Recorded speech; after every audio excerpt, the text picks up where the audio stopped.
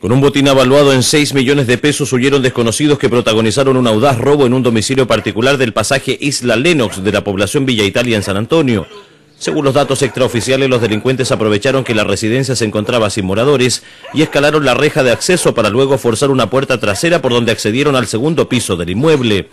Y aunque la habitación donde el ingeniero Miguel Valenzuela Zúñiga guardaba 5 millones de pesos en billetes de 100 dólares norteamericanos se encontraba cerrada, los zampones se las arreglaron para entrar y robar el dinero. Además de los 10 mil dólares, los desconocidos robaron dos talonarios de cheques y joyas, especies que fueron avaluadas por los afectados en una cifra cercana a los 6 millones de pesos. Una vez que se percataron del robo, los afectados dieron aviso a carabineros que se constituyó en el lugar de los hechos y tomó las primeras declaraciones.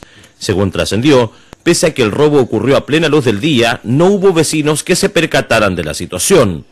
Más tarde, por disposición de la Fiscalía del Ministerio Público, efectivos de la Sección de Investigaciones Policiales, SIP de Carabineros, fijaron fotográficamente el lugar y levantaron algunas huellas.